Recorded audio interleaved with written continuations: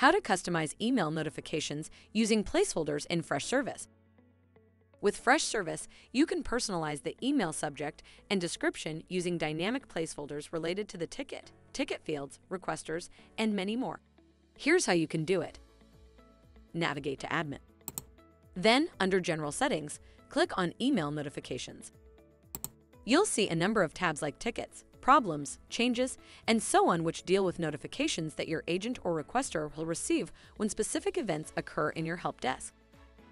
Now let's enable one of these notifications and customize it using placeholders.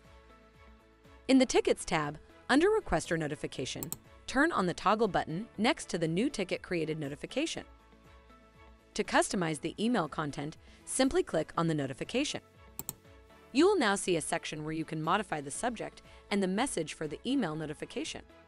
You can personalize the email using placeholders related to the ticket, ticket fields, requesters, and many more by clicking on the Insert Placeholder button.